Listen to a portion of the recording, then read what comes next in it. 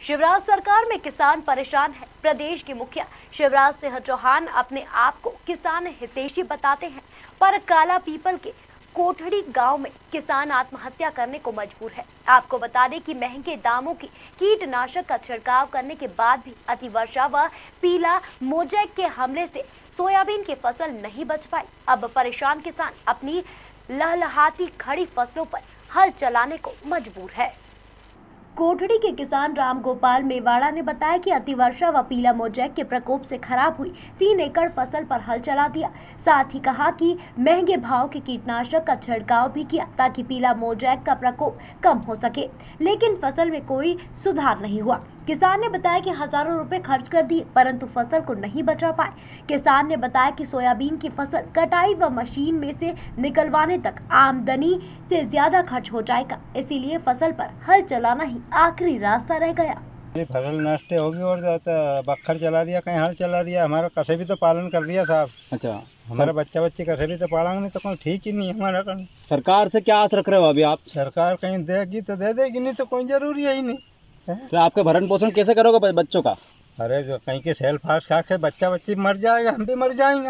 अच्छा कोई जनप्रतिनिधि नेता आपसे यहाँ मिलने आया अभी तक कोई नेता आया ना हमारा कहना कोई नहीं आया सरकार। आप क्या- क्या चाहते हो अब? अब ये चाहता है कहीं सरकार सहायता हमारी थोड़ी घनी करे तो करे नहीं तो कोई ज़रूरी नहीं उनकी मर्ज़ी है। अभी सोसाइटी में बीमा आया था आपको मिला कि नहीं मिला? एक एक नया को बीमो नहीं है हमारा। क्या कारण नहीं क्यों उसकी क्या कारण नहीं मिला? कोई कोई कहीं नेठ ही नहीं दियो हमें तो कहीं बात ही सूचना ही नहीं हो हमें। पर भरी खजाओ तो खाने वाला। कौन?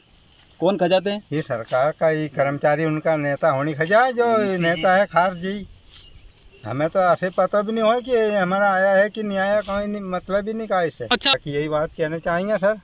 क्या? कि साहब हमारे हमारे ना तो कहीं हमारा बच्चा बच्ची हमारा बच्चा बच्ची के लिए कुछ पालन पोषण तो हो ना नहीं तो हम तो मर जाएँगे बेमौत मर जाएँगे। साथ ही किसानों का यह भी कहना है कि जनप्रतिनिधि चुनाव के समय वोट मांगने आते हैं परंतु किसान इस समय संकट में है अभी कोई हमारी सुध लेने नहीं आया। परेशान किसान ने सरकार से गुहार लगाई है कि नष्ट हुई फ़सल की राहत राशि दी जाए जिससे वह अपने परिवार का पालन पोषण कर सके। किसानों ने शासन प्रशासन को चेतावनी दी है। समय रहते उन्हें आर्थिक मदद नहीं मिली तो वह आत्महत्या करने के लिए मजबूर हो जाएँगे। और कौन से गाँव फ्यूचर है। फ्यूचर मालवी घर में घर भी हमारा बेघर हो गया है। फ़सल हमारी सारी नष्ट हो गई है छोरा छोरी पालना मुश्किल है हमारा। यह सारी नष्ट हो गई ये एक दानो भी नहीं इसमें। अच्छा। जिसके लिए हम दूसरा हल बखर चला रिया है दूसरी फ़सल कहीं मिल जाएगी तो हम बो देंगे नहीं तो। आप राम भरोसे। आप सरकार सरकार से यह आस लगाते हैं कि कहीं ना कहीं हमें थोड़ा घना सहयोग मिल जाए सरकार का तो हमारा पालन पोषण हो जाए। रात राशि नहीं मिलेगी तो साहब मरना पड़ेगा हमें। जेर खाना पड़ेगा। नहीं दिया नेटो ही यहाँ की जगह कोई ना आके नहीं देखा है और ऐसी की कि वहाँ कहीं ले घर वन बाँध जाता हमने तो हमारे ज़मीन जागात में बांधा नहीं तो कहाँ बांधा? हमारे पट्टा नहीं दिया, हमारी कूटी होन नहीं दी। हमारे लेटरिन बाथरूम नहीं बन दिया, हमारा नेट। मौजूद है काला पीपल के कोठरी गाँव में, जहाँ पर पिछले पंद्रह दिन पूर्व अत्यधिक बारिश के चलते यहाँ की फ़सल पूरी तरह से बर्बाद हो गई है। बारिश के कारण और उसके बाद में पीला मोजेक नाम की बीमारी के कारण पूरी फ़सल बर्बाद हो गई है। अब किसान अपनी फ़सल को यहाँ पर नष्ट करने के लिए फ़सलों में हल चलाने को मजबूर हो चुके हैं। हमारे साथ कुछ किसान हैं। आइए हम उनसे बात करना चाहेंगे। किस परेशानी के चलते आज यहाँ पर जो फ़सल नष्ट हुई है और आप यहाँ पर हल चला रहे हो, क्या नाम है आपका और किस प्रकार की आपको परेशानी से जूझना पड़ेगा? साहब मेरा नाम फ्यूचर है मालवी फ्यूचर ये हमारी फ़सल सारी नष्ट होगी गई है पूर्व में बाढ़ में होगी गई है और पहले अपन ने की बीमारी लगी जे में भी आधा सोयाबीन सूख गए थे ये पूर्व में नेठू नष्ट हो गए। एक दाना भी नहीं बचा हमारा। इसमें जे जे का लिए हम हर बखर चला रही है।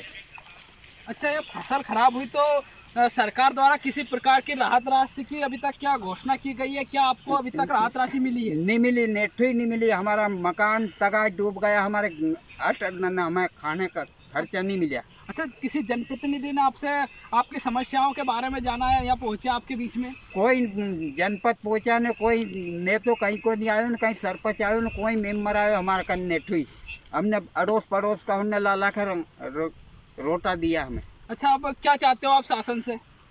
आपका जी शासन हमें कहीं ना कहीं राशि दे दे तो हम जिया है नहीं तुम मन क्या नाम है आपका? क्या नाम है आपका। तो ये है हमारे साथ किसान शिवचरण, जिनकी आँखें आँसू से भर आई है। इनका कहना है कि हमने बड़ी उम्मीदों के साथ यहाँ पर सोयाबीन की फ़सल लगाई थी, परंतु अतिवृष्टि के कारण पूरी फ़सल बर्बाद हो चुकी है। अब इनको सरकार से आस है कि इनको जल्द से जल्द राहत राशि मिले, जिससे कि आगे के समय में अपने परिवार का पालन पोषण कर सके। संदीप गहलोत, खबर मध्य प्रदेश न्यूज़, काला पीपल। काला पीपल से संदीप गहलोत की रिपोर्ट।